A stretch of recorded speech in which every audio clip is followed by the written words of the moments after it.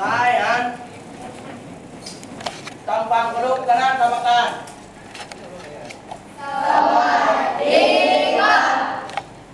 เอามาลงขวาหันยัวกระติดนั่ง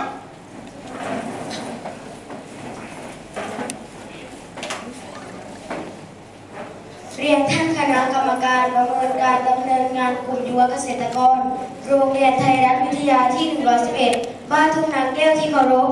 ดิฉันชื่อเด็กหญิงพิมพ์ชนกดำทอง นักเรียนชั้นประถมศึกษาปีที่6ทับ2ทำหน้าที่เป็นพิธีกรดำเนินรายการในวันนี้ค่ะ วันนี้ทางโรงเรียนรู้สึกเป็นเกียรติ และภาคภูมิใจเป็นอย่างยิ่ง ที่ท่านได้ให้เกียรติมาพบปะเยี่ยมเยียน และประเมินกลุ่มยุวเกษตรกรของโรงเรียน เพื่อการพัฒนาอย่างยั่งยืนต่อไปค่ะก่อนอื่นต้องขอนำเรียนก่อนนะคะว่าทางโรงเรียนของเราได้ส่งเสริมการทำเกษตร ตามหลักปรัชญาของเศรษฐกิจพอเพียง ในพระบาทสมเด็จพระเจ้าอยู่หัวรัชกาลที่ 9 โดยเริ่มจากการให้ความรู้โดยบูรณาการกับทุกกลุ่มสาระการเรียนรู้ และนำความรู้ลงสู่การปฏิบัติ เพื่อถ่ายทอดองค์ความรู้ และสืบสานอาชีพของคนในท้องถิ่น ประกอบกับโรงเรียนของเรา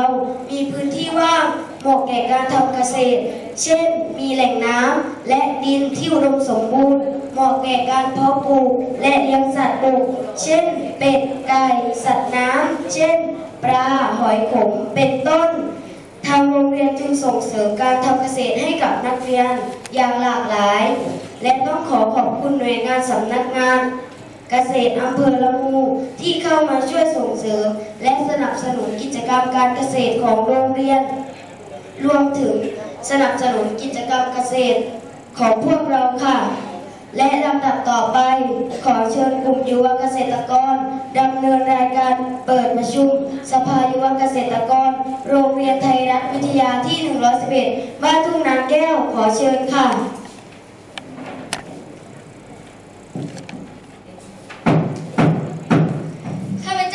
ปิดการประชุมสภายุวเกษตรโรงเรียนไทยรัฐวิทยาที่ 111 บ้านทุ่งนาแก้วนาบัดนี้ ทั้งหมดยืนขึ้นค่ะ ทั้งหมด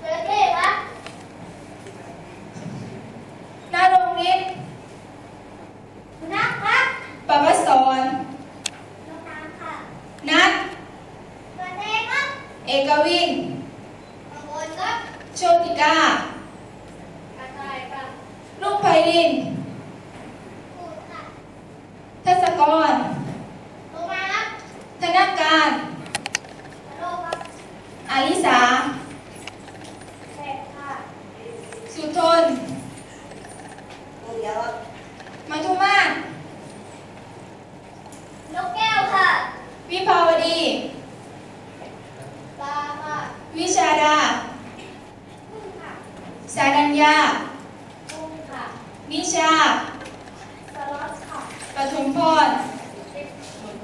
นิธิวัฒน์หัวครับพงศกรสามครับพานุวัฒน์เราครับสุภทัศน์ดีครับพลพัฒน์วางค่ะสากิโรช้างค่ะ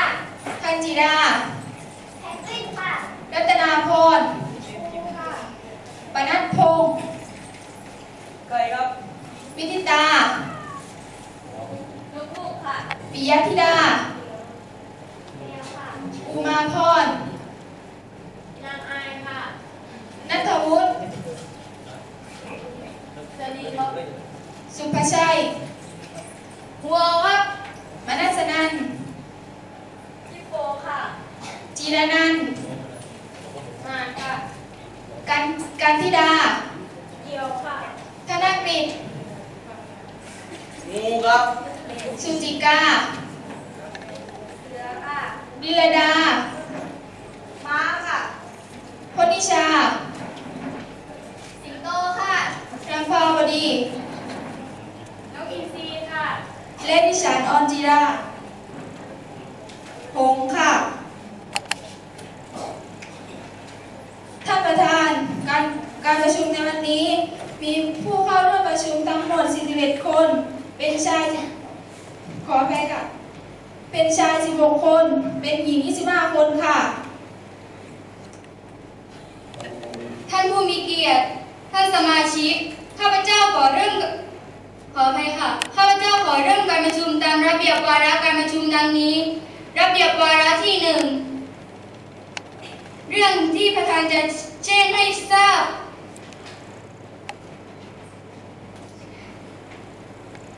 ในวันอังคารที่ 10 มีนาคม 2513จะมีคณะกรรมการคัดเลือกเกษตร และสถาบันเกษตรกรดีเด่น ระดับจังหวัดมาจัดเก็บข้อมูล เพื่อพิจารณาคัดเลือกกลุ่มยุวเกษตรกรที่ปรึกษายุวเกษตรกร และสมาชิกยุวเกษตรกรดีเด่น ระดับจังหวัดปี 2513 ระเบียบวาระที่สอง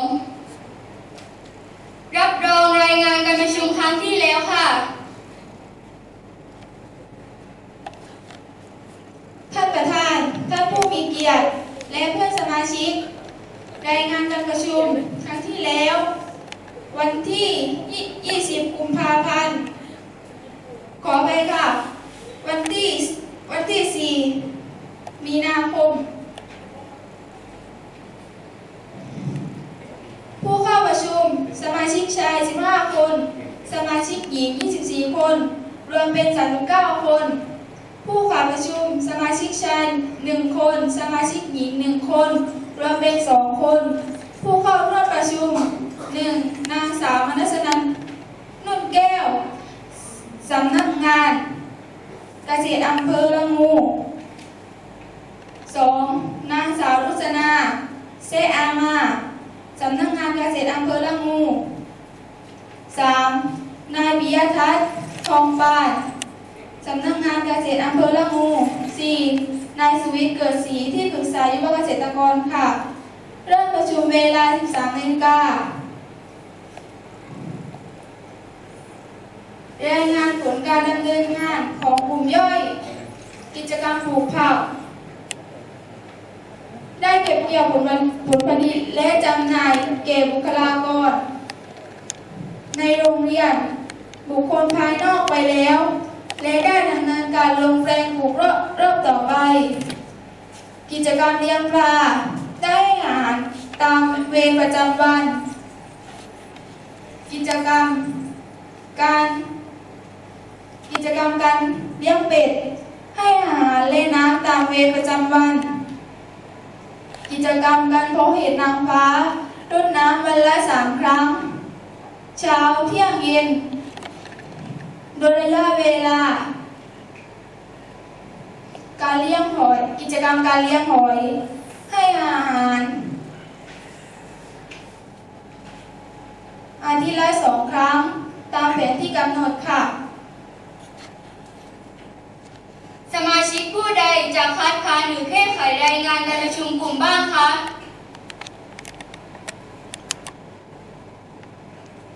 ถ้าไม่มีผู้ใดจะทักท้วงก็ถือว่ารายงานการประชุม ถูกต้องสมบูรณ์ค่ะ ขอให้สมาชิกยกมือเพื่อรับรองด้วยค่ะ ขอบคุณค่ะ ระเบียบวาระที่ 3 เรื่องสืบเนื่องการประชุมครั้งที่แล้ว รายงานผลการดำเนินงานของกลุ่มย่อย กิจกรรมการปลูกผัก กิจกรรมการเลี้ยงปลา กิจกรรมการเลี้ยงหอยขม กิจกรรมการเลี้ยงเป็ดไข่ กิจกรรมการเลี้ยงไก่ไข่ กิจกรรมการผลิตปุ๋ยหมักชีวภาพ กิจกรรมการแปรรูปอาหารค่ะ ท่านเฮรัญยิปโปรดงานสถานะการเงินของกลุ่มค่ะ ขอเชิญค่ะ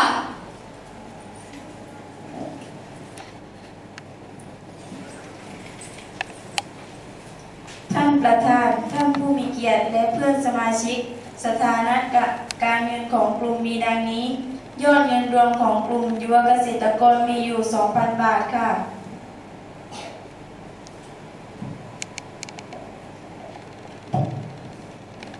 มีเพื่อนสมาชิกผู้ใดจากคัดค้านหรือมีความสงสัยเกี่ยวกับการเงินของกลุ่มบ้างคะ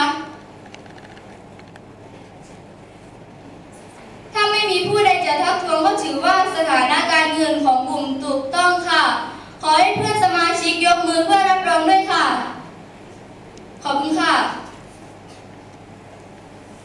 ให้ผู้รับผิดชอบแต่ละกิจกรรม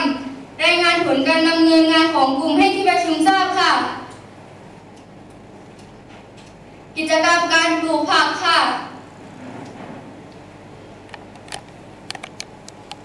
สวัสดีค่ะ ดิฉันเป็นประธานกลุ่มปลูกผักปลอดสารพิษ ตอนนี้มีผักอยู่ 5 ชนิด ได้แก่ 1. ผักบุ้ง 2. ผักกวางตุ้ง 3. ผักกระขาว 4. ผักน้ำ 5. 5ผักคะน้าค่ะ ตอนนี้ผักน้ำมีอยู่3 3แปลง ต้นคูณมีอยู่ 3 แปลง ผักกาดขาวมีอยู่ 3 แปลง และแปลงที่เหลือก็จะเตรียมปลูกผักบุ้งและผักกวางตุ้งค่ะและ ตอนเราได้เริ่มเราได้เริ่มปลูกตั้งแต่เดือนพฤศจิกายนค่ะ และได้ถอนขายในเดือนมกราคม และก็เดือนกุมภาพันธ์ค่ะ เราขายได้เงินประมาณ 1,900 บาทค่ะ ขอบคุณค่ะ กิจกรรมต่อไปกิจกรรมการเลี้ยงปลาค่ะ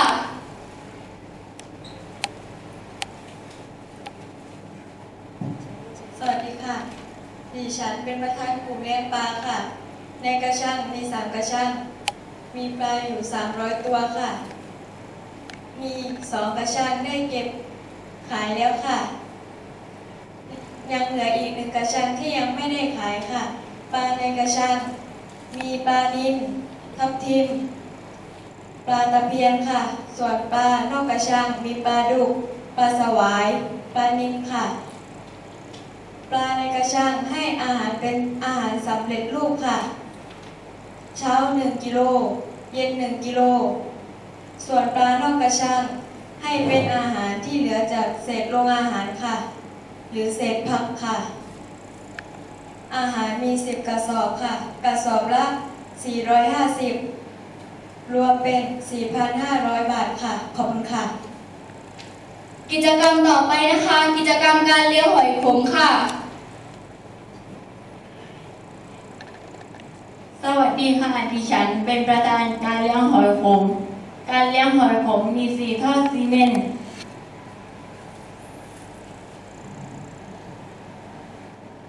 ให้อาหาร สัปดาห์ละสองครั้ง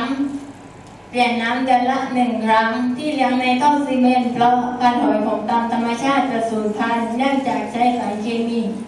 ในการทำเกษตรขอบคุณค่ะ กิจกรรมต่อไปการเลี้ยงเป็ดไข่ค่ะ สวัสดีค่ะ ดิฉันประธานกลุ่มเลี้ยงเป็ดไข่ค่ะ ตอนนี้เป็ดไข่มีอยู่ 28 ตัว เริ่มเลี้ยงมาตั้งแต่วันที่ 25 เดือนธันวาคม พุทธศักราช 2512ค่ะ ตอนนี้สามารถเก็บไข่ได้ทุกวันค่ะ ได้วันละ 20-24 ฟอง ให้อาหารทุกเช้าเย็น วันละ 2 กิโล 2 ขีด ตอนเช้า1กิโล6ขีด ตอนเย็น1กิโล6ขีดค่ะ ตอนนี้จำหน่ายให้โรงอาหาร คณะครู ผู้ปกครอง และกลุ่มแปรรูปอาหารค่ะ ขอบคุณค่ะ กิจกรรมต่อไปนะคะ กิจกรรมการเลี้ยงไก่ไข่ค่ะ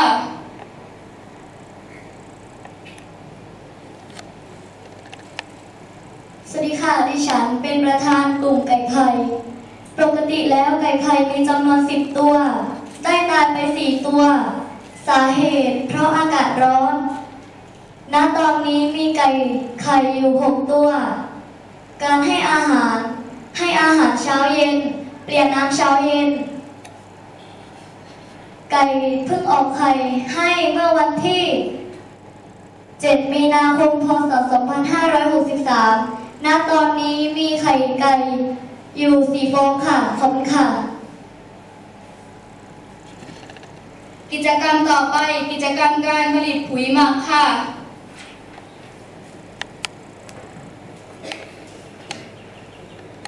สวัสดีครับผมเป็นประธานกลุ่มการผลิตปุ๋ยหมัก ตอนนี้กำลังทำปุ๋ยหมักเดียวว่าจากก้อนเจเก่าเพื่อใช้ในกลุ่มยุวเกษตรกรเร่งการเจริญเติบโตของพืชดำเนินการมาแล้วหนึ่งสัปดาห์ใช้งานได้สัปดาห์หน้าครับครับ กิจกรรมต่อไปกิจกรรมการปลูกผักพื้นบ้านค่ะ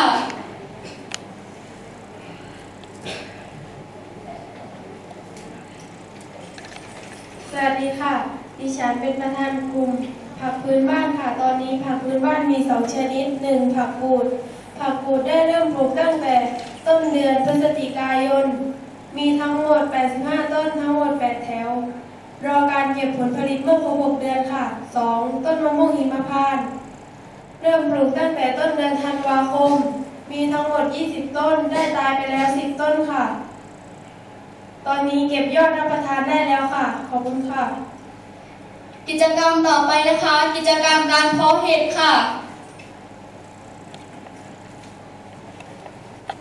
สวัสดีค่ะ ดิฉันเป็นประธานจากกลุ่มเพาะเห็ดค่ะ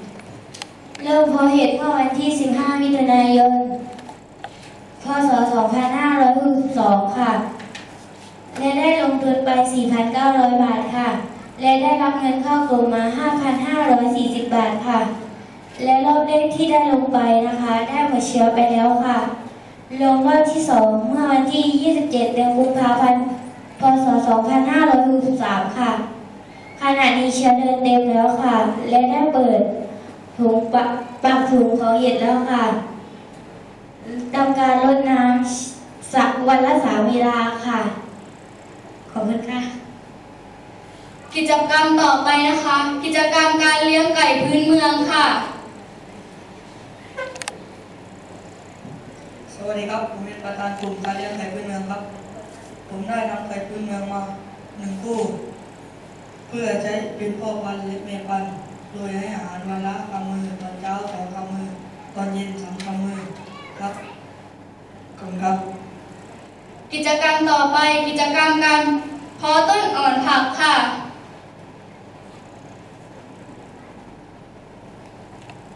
สวัสดีค่ะ ดิฉันเป็นรองประธานต้นหนอนผัก ตอนนี้ได้ปลูกต้นหนอนผักบุ้งและต้นหนอนตะตะวัน ต้นหนอนผักบุ้งมีอยู่สามตะกร้า และต้นหนอนตะตะวันมีอยู่สิบตะกร้าค่ะ ต้นหนอนผักบุ้งปลูกเมื่อวันที่เจ็ดมีนา และต้นหนอนตะตะวันปลูกสองมีนา รอการตอนนี้รอการเก็บเกี่ยวอยู่ค่ะ ขอบคุณค่ะ และ กิจกรรมสุดท้ายนะคะ กิจกรรมการแปรรูปอาหารค่ะ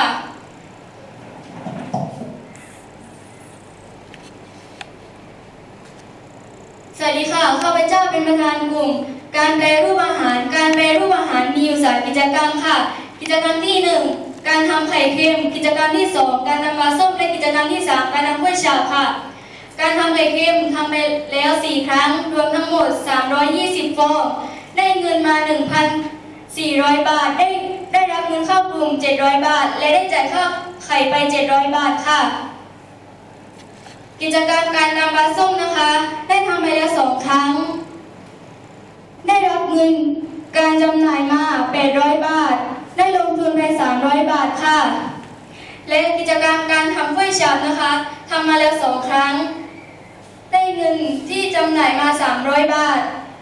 ลงทุนไป124 บาทค่ะ ขอบคุณค่ะ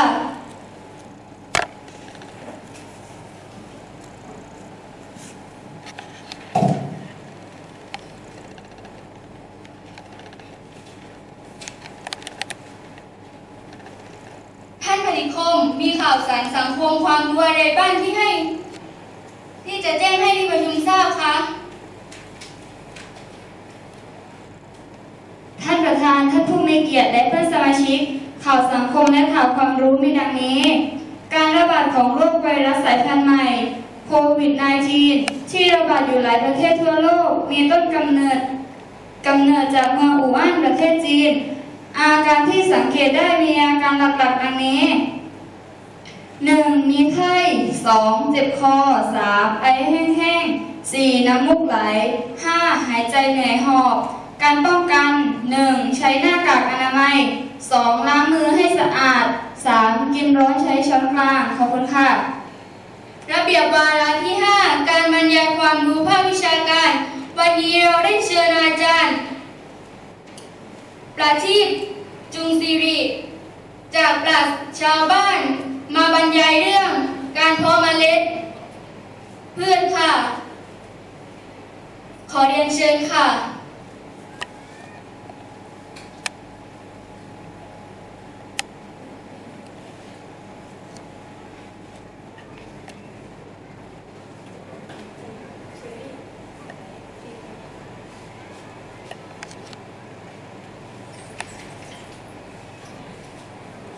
ครับ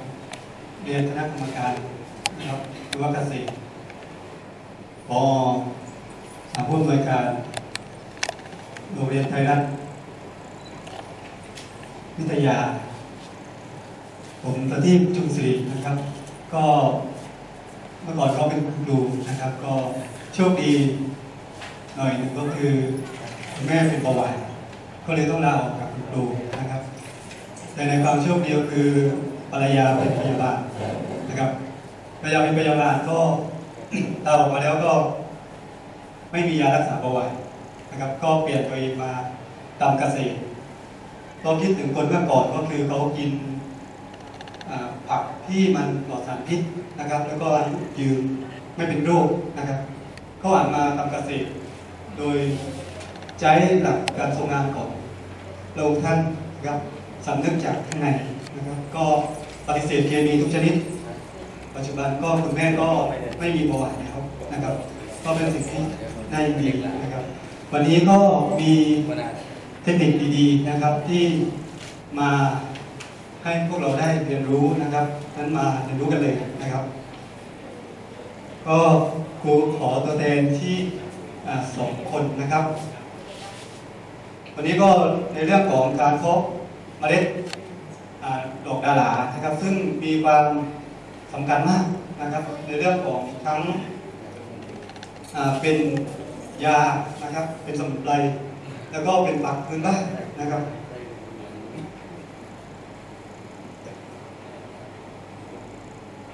แล้วก็ที่ให้พบเล็ดวันนี้นะครับ เพราะว่ากิจกรรมผักทุกอ่าพืชทุกชนิดนะครับ สามารถเพาะเมล็ดได้หมดเลยนะครับนี่พริกไทยนะครับที่เพาะมามะละกอแ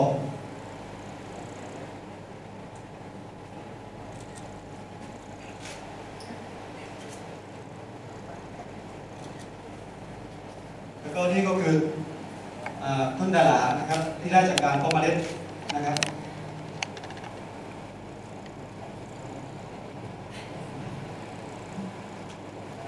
วัสดุอุปกรณ์นะครับก็คือมีแบบดำนะครับ ซึ่งผสมน้ำมาเรียบร้อยแล้วนะครับ เพื่อให้ได้ความชื้น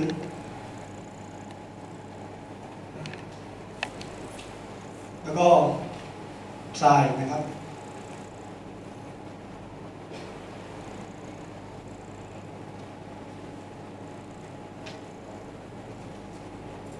นะครับ เดี๋ยวก็ให้ยุวเกษตรของเรานะครับเอาแบบดำนะครับ กับทรายผสมเข้าด้วยกันนะครับ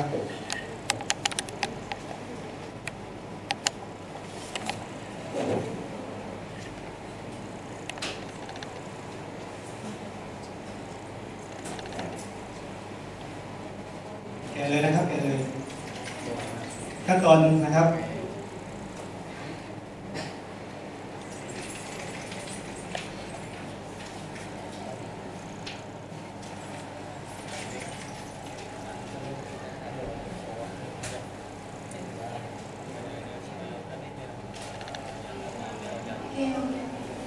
ช่วยช่วยแกะหน่อย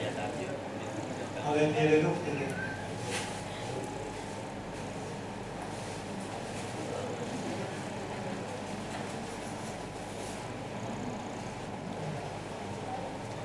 ลุกเคล้าเลยครับ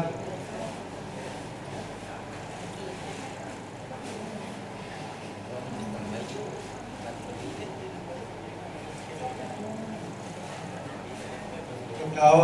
ให้เข้ากันนะครับ จากนั้นก็ใช้มือนะครับเคลียร์ให้เสมอกันนะครับเคลียร์ดินให้เสมอกัน